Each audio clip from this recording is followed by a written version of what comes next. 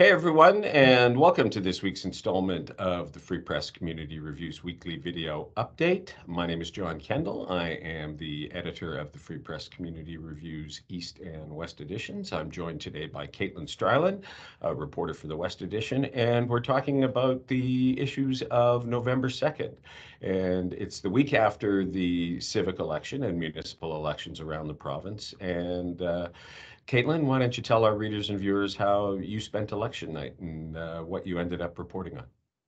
Exactly. So I went out at about uh, 8 p.m. ish on October 26th, and I drove over to the St. James ward. Um, just sat in my car watching the poll numbers roll in, and it was kind of clear from pretty much from the beginning that Shawn Dobson um, had a strong lead over uh, the other candidates. Um, so I was kind of parked halfway in between Shawn Dobson and uh, Kelly Ryback's election night uh, headquarters. And when it was projected that Shawn Dobson was going to be the next uh, the next counselor for St. James, I zipped over to his election headquarters, which was his home, or actually, sorry, his mom's home uh, in the same neighborhood as him in St. James. Um, so they had a nice little reception there, party at the house. Um, and yeah, I spoke to him about his reaction to this new position. Um, uh, as some may know, he was previously the city councilor for the St. Charles ward before that was uh, dissolved to make way for the Charleswood, Tuxedo Westwood, and St. James wards. I believe there was some. Uh, yes, that's that's there was redistribution in, of wards uh, in 2018 uh, based on population, and so they moved some boundaries around to ensure that everything balanced, and then we emerged with those two new wards, St. James and uh, Charleswood, Tuxedo Westwood. So yeah, go ahead.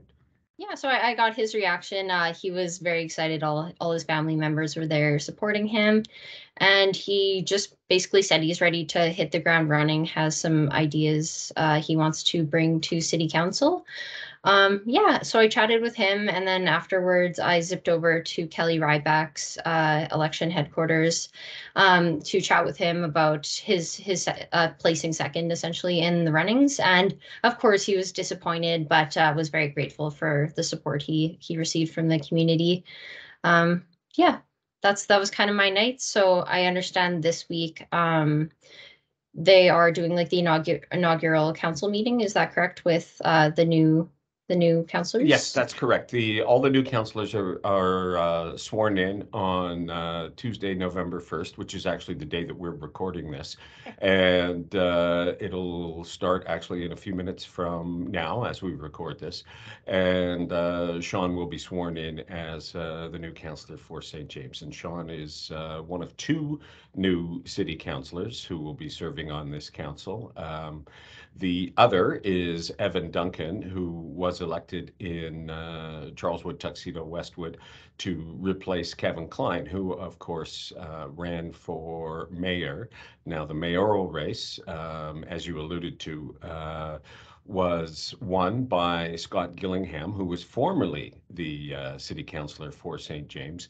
And Scott uh, becomes the mayor elect of Winnipeg. Um, in a few moments from now, he will be the mayor of Winnipeg. And uh, the uh, um, new council and the new mayor will begin their uh, program of government almost immediately. In fact, there's another meeting next week at which they will determine uh, who will sit on the various committees of council. And uh, we'll see if uh, Shawn Dobson in St. James and Evan Duncan in, in Charleswood, Tuxedo Westwood, the two new councillors from the western portion of Winnipeg, um, end up with seats on important standing committees uh, of City Council or even on the Executive Policy Committee. What happens with the Executive Policy Committee remains to be determined because uh, one of Scott Gillingham's campaign pledges was to reduce the number of councillors who, who sit on the EPC so that the EPC is no longer uh, a majority faction of council um, and can get its agenda through council uh, more readily because all its members form a majority on council. So it's going to be interesting to see how this plays out. Um, I love the fact that when you told me uh, the day before the election that uh, Shawn's um, reception uh, was going to be held uh, at his mother's home. I just thought that was uh, that was really cool. Uh, in a, an age when people rent out big halls or tend to go to uh, restaurant lounges or sort of common meeting areas in order to have huge expensive parties, uh, he had a few friends and family over and obviously crucial campaign workers and supporters, and it was a, a, nice little gathering at his mom's house. And did, you told me on the night you were the first reporter there? I was the first reporter there. Yes, I was the first one in the house. And uh, after we spoke and took our photos and everything, uh, as I was leaving, there was a few reporters kind of lined up uh, outside the door. But yeah, I guess uh, kind of st- staking out the neighborhood, waiting for the numbers to come in, uh, paid off. Cool. Very cool. And uh, it was a good job and a good story.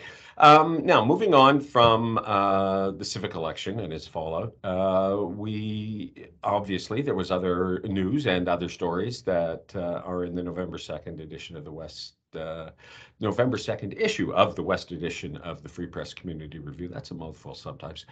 And one of them, the cover story, as a matter of fact, is uh, on a new Filipino restaurant uh, moving into Raffy's Cafe at the southeast corner of Wall Street and Ellice Avenue. It's right in my neighborhood. And uh, the new place is called Kkiko's Grill, I believe. Tell me a little more about it. Exactly. So Kkiko's Grill is uh, named after the barbecue master of the restaurant. Um, he is one of three people who own the restaurant. They're all longtime friends.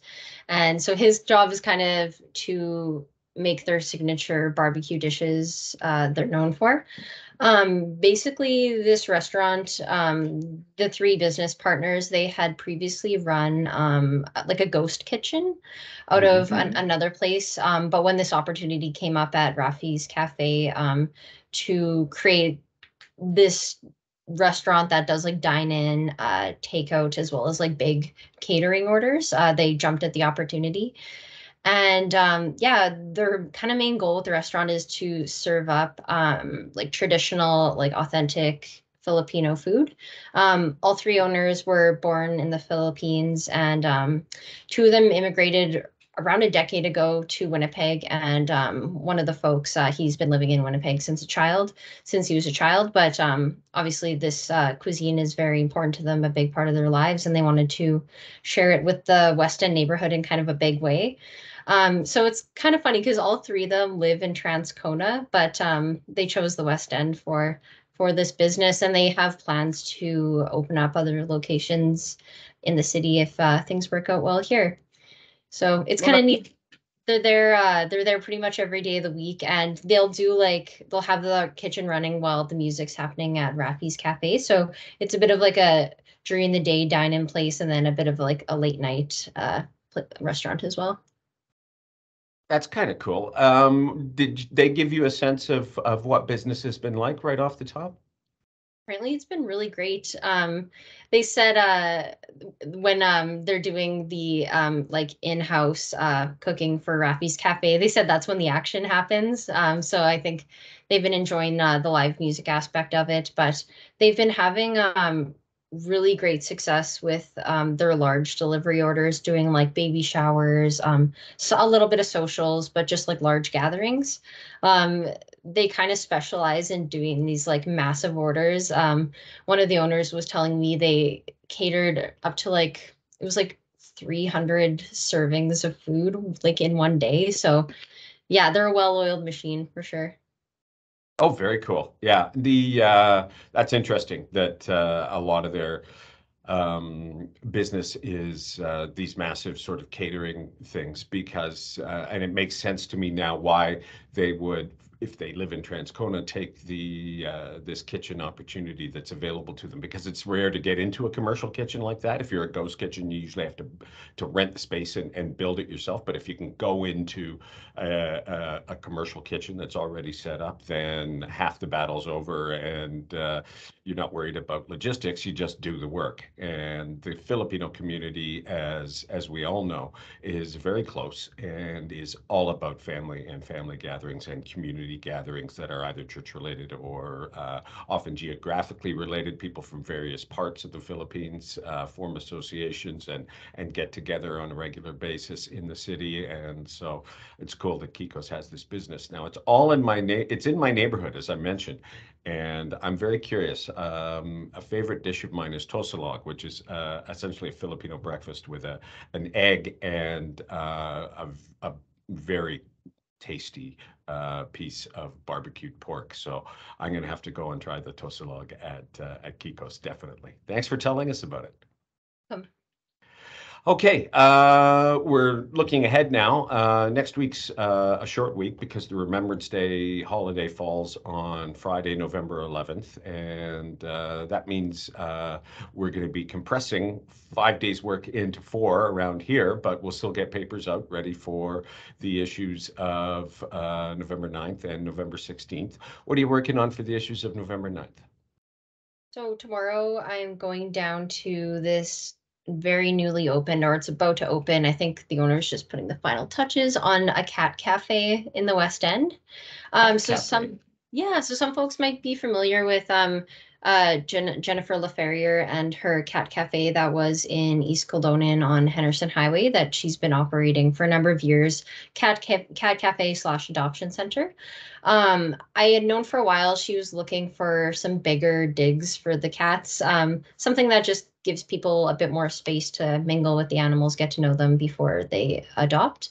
Um, so she found um, a new location on the in the West End. I believe it's on Wall or Erin. Um, you'll have to read the story uh, to double check that. But um, yeah, she found a bigger space. Is like almost done all the renovations, and hopefully there's some cats in there tomorrow when I go. But um, yeah, it's cool to see the business kind of take take its next step. I think it had kind of outgrown um, the Henderson space.